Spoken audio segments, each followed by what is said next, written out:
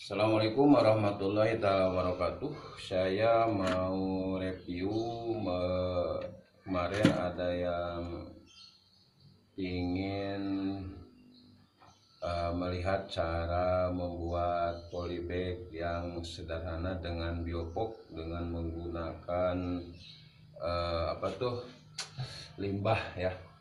Saya menggunakan ini ini bekas eh, menanak nasi ya buat di bawahnya. Juga saya pakai ini ya bekas air mineral yang rusak saya potong bawahnya. Sebetulnya bisa aja pakai yang yang eh, potongan ini tapi berhubung udah dipakai saya mau pakai ini. Begini gitu jadi nanti begini ya.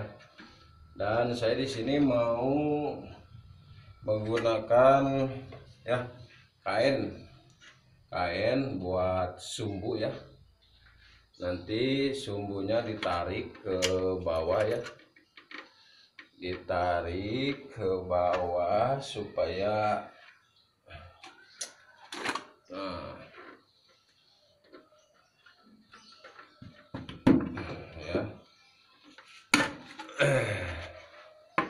mau. Oh itu ya? Oh ya. Nah, supaya terjadi aliran air dari bawah ya sini. Oh. Ya. Jadi begini jadi begini. Ya. jadi medianya saya pakai eh, bekas air mineral juga ini bekas menanak nasi ya dan media yang saya pakai satu air.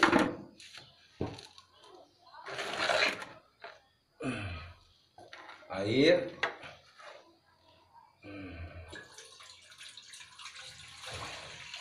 Saya tuangkan ke sini air ya. Hmm. air secukupnya lah.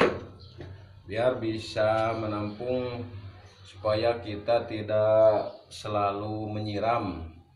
Sekalipun kita lupa ya.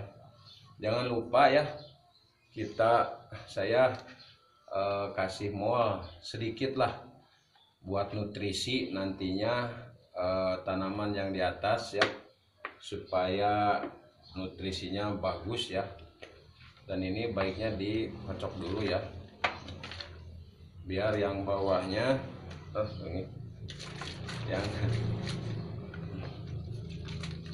yang bawahnya bisa ke bawah ya oh. sedikit aja lah nah, sedikit buat nutrisinya hmm. setelah itu kita taruh ini tadi ya ke sini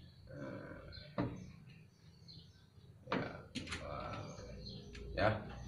Dan media yang saya pakai juga saya memanfaatkan kohe ya.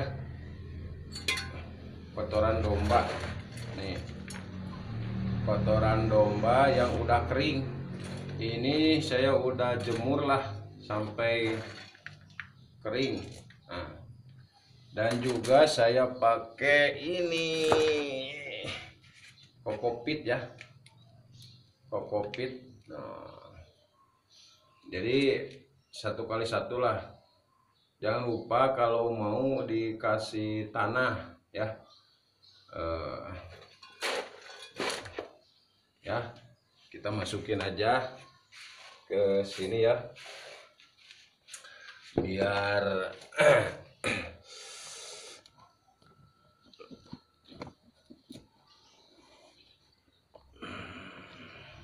ya kita masukin.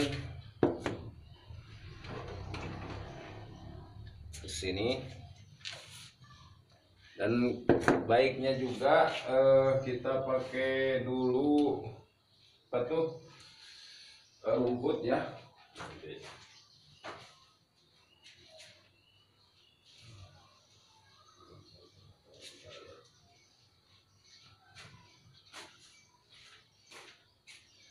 juga saya pakai rumput kering nih bekas uh, sisa makanan kelinci ya. Biar ada serat-serat begitu ada rongga-rongga udara tidak menjadi keras ya.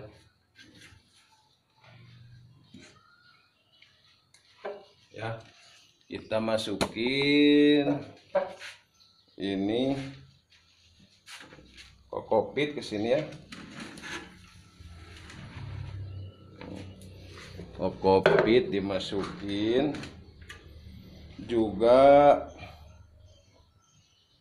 ya udah dimasukin. Juga ini kohenya dimasukin ya. Oh.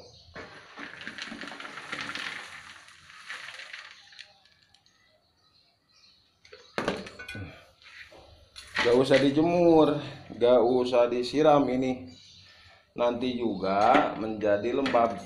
Soalnya kan ada air di bawah. Kita aduk ya.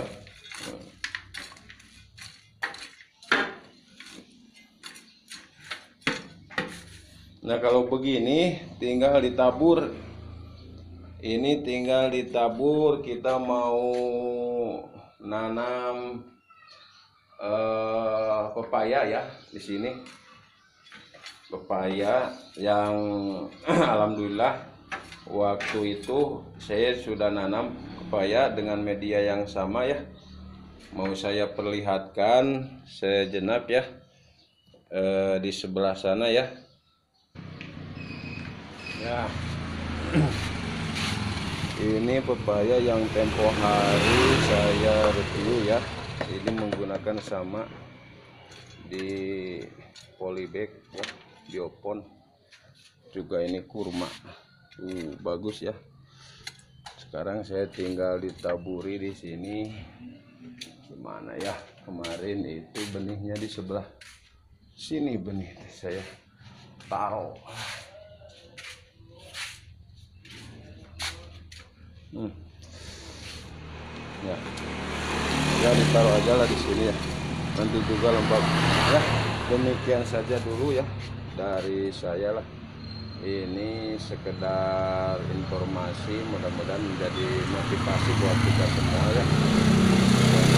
Karena tuh ini pada pada subur ya.